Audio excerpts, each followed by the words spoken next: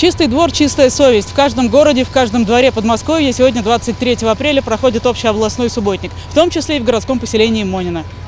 Местные депутаты, неравнодушные жители всех возрастов, а также представители районной общественной палаты благоустраивали территорию вокруг культурного ядра поселка Дома офицеров.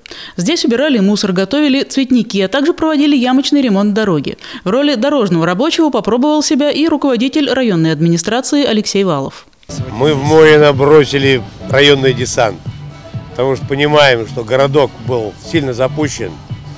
Причина того, что огромное количество, будем говорить, времени, эта земля никак и дороги не могут передаться а, в городском поселении. Поэтому мы решили общественный, целевой, районный десант на наведение порядка. И, как видите, сделано очень много. Городское поселение Монина вошло в программу восстановления инфраструктуры бывших военных городков, переданных от Министерства обороны в собственность Московской области.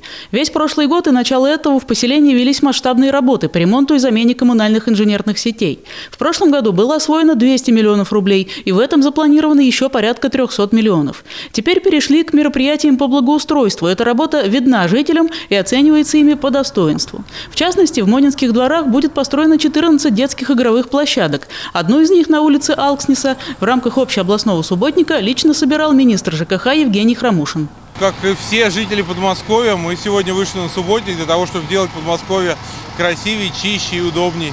Мы работаем сейчас непосредственно на детской площадке, в том дворе, в котором в этом году будет произведено комплексное благоустройство, асфальт, свет, но мы начинаем с детской площадки. Честно говоря, Евгений Акимович приятно удивил. Он оказался квалифицированным сварщиком, а коллеги говорят, министр вообще на все руки мастер. Ну, есть квалификация, да, только, к сожалению, раз в год получается. Все остальное время с бумагами, да. А любите? Да, я сварить очень люблю.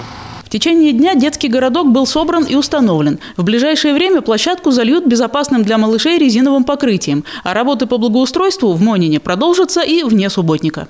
Ну, сам министр, видите, площадку делает. Это показывает сближение, ну, да, я считаю, до такой степени власти с народом, что уже теперь мы неразделимы.